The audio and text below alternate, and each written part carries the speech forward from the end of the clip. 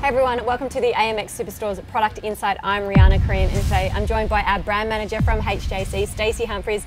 Stacey, what is the latest from HJC? Thanks, Ree. The latest is our new F71 sports touring helmet. So it replaces the F70 and the F71 is the top of the line helmet just before you step into the premium RPHA range.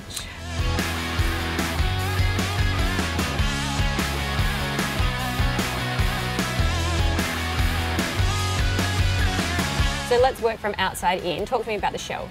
The shell is advanced fiberglass composite shell, which means it's lightweight and extremely aerodynamic. And the outer shell comes in three sizes, which means it's tailored for that specific size fit. So what has improved in terms of ventilation? Ventilation has increased massively from the F70. So the F71 has three intake and two exhausts.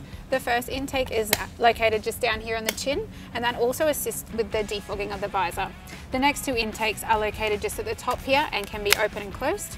And those vents at the top are working to draw in that cool air and they're pulling that cool air through the EPS and then essentially what they're doing, pulling the cool air through and then dispersing the heat through to the two exhausts at the back. So has the visor changed as well? We have an all new improved visor on the F71 uh, operating on the left hand side. We have a wider eye port which allows for max peripheral vision. It's a two-way ratchet system as well. So what a two-way ratchet system does is when we're getting down to that final stage there, it pulls it nice and tight, creating that really nice seal. We have multiple levels of detent as well, which a lot of people like, especially in the hotter weather in Australia, is riding with that last uh, position, the city position, allows for that extra ventilation. The visor locks just down here on the left hand side. Once you push the button, it unlocks and it pops back up again. And what about the internal visor? Has that changed? Yeah, absolutely. So what you'll see on HJC's new ECE 2206 range in the sports touring range is that they have what's called the dynamic multi-step sun shield. So essentially we have the default position which looks like this. Uh, we flip it over and we just pop this little side cover off. And just at the side here, we pop it back up to the top and you'll see the internal sun visor comes down and out a further 10 mil. That's great for riders that are requiring that bit more optimal performance of the visor coming down, not allowing the, uh, the light leakage in, in all uh, types of daytime riding. And what about the rest of the helmet, the internal features? So we'll flip it over and have a look at the internals.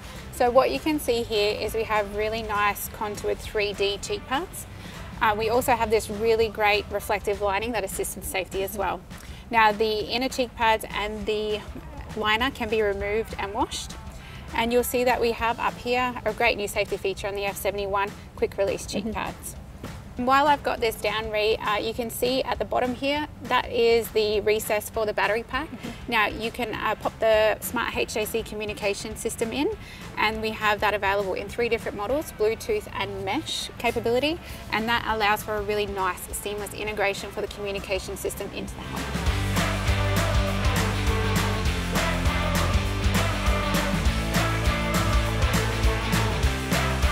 feel like you've given us plenty of details. Is there anything else we need to know? Uh, the visor is fitted with a pinlock lens. Pinlock lens is included in the box. The helmet has a 3U warranty. If you're looking for an affordable sports touring helmet, this is the helmet for you. Thanks so much, Stacey. If you'd like any more information on the HJC F71, head to your nearest AMX Superstore, or of course the information is there for you on the website.